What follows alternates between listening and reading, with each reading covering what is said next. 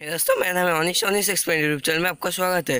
दोस्तों ये वाला जो एक गुल्टी है ये बंदर तर, तराने में बहुत काम आता है। ये बहुत ही पावरफुल है मैं आपको दिखाता हूँ। इसका पावर दिखाने के लिए वो दूर पे मैंने कद्दू रखा है और ये है वो गुल्टी और है इसका गोली।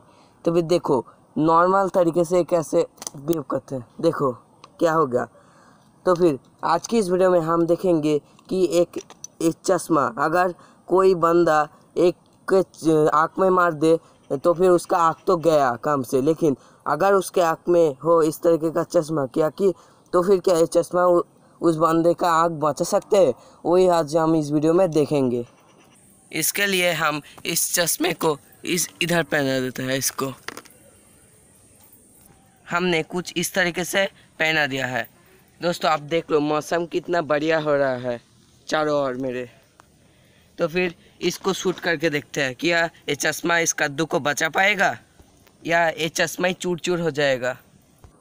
देखो ऑन थ्री टू वन ओह, नहीं लग पाया। थोड़ा सा मैंने पास में ले लिया। ओ देखो गाइस इस चश्मा का कुछ नहीं हुआ। सिर्फ़ थोड़े थोड़े स्क्रैच पड़ गए। और एक बार ट्राई करते हैं। इस बार मैंने चश्मे को डायरेक्ट ही लग दिया है। ओह फिर से मारा। चश्मे का कुछ नहीं हुआ। एक बार और मारते हैं।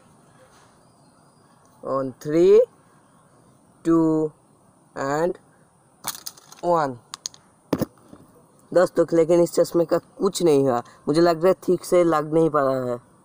फिर से एक बार ज़ोर से मारते हैं। ओह अब कुछ हुआ। देखो, इसका कांच इधर निकल आया, लेकिन कांच में कोई डैमेज नहीं है, आप देख सकते हो।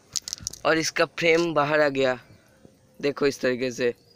तो फिर हम कह सकते हैं, अगर किसकी, किसी ने चश्मा पहना है और उसके आँख में ये वाला, ये गोल्टी से गोली लग जाए तो फिर उसको आँख बच सकता है। तो फिर अगर ये वीडियो आपको अच्छी लगती है, कुछ यूनिक से ही ट्राई किया, इस वीडियो को ना लाइक शेयर सब्सक्राइब करके बेल भी दबा देना।